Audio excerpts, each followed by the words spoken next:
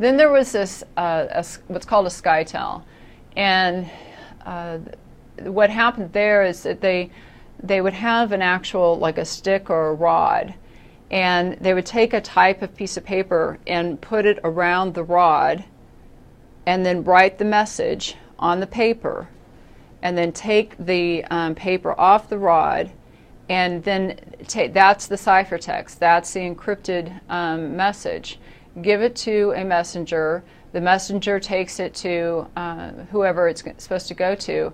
And the person that's going to, the receiver, has to have the same size of stick or rod, so they put the paper around it so all of the, uh, the letters match up and they can actually read the, uh, the message. So the scytale just means you have um, some type of um, a stick or a, a, rod and you're wrapping paper around it and a messenger takes it to the destination.